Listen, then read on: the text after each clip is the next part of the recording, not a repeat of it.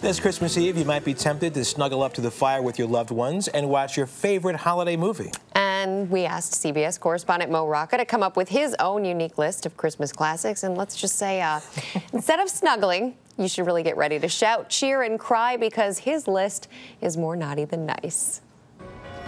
You may be among the millions making the annual pilgrimage to Macy's, site of the miracle on 34th Street.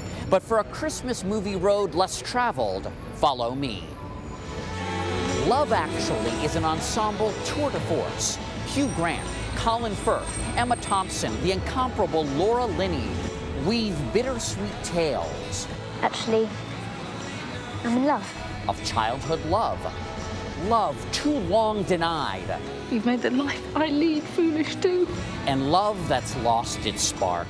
It's one of those movies that looks like it might be kind of dopey, you know, the ones packed with way too many stars, but this one's really good, trust me. In Die Hard, a young Bruce Willis with hair is a New York City cop who thwarts an attack by German terrorists barefoot. Do you really think you have a chance against us, Mr. Cowboy? Yippee-ki-yay! What's a holiday party in LA without some good old machine gun fire? And enough murder and mayhem to last you through the new year. For an R-rated Santa, you won't want to miss Billy Bob Thornton in Bad Santa. If I'd known I was going to have to put up with a bunch of screaming brats pissing on my lap for 30 days out of the year, I would have killed myself a long time ago.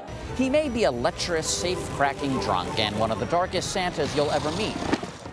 Where's your sleigh? It's in the shop, getting repaired. But his soft heart for an abused kid makes for a sort of happy ending.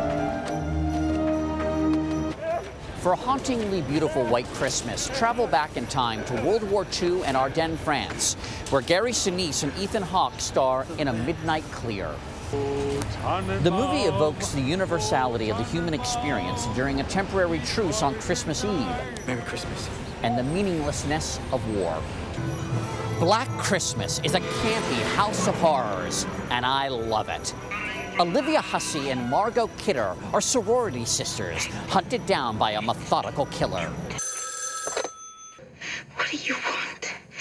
Why are you doing this? The obscene phone calls wouldn't be nearly as scary without those 1970s telephones with a certain ring. In Tim Burton's The Nightmare Before Christmas, Jack the Pumpkin King is the ultimate in mixed metaphors. As Jack tries to discover the meaning of the season, the real Santa is held captive by the boogeyman. Me on vacation? On Christmas Eve? Steven Spielberg's Gremlins is a holiday sci-fi movie with a twist. What is it? It's your new pet.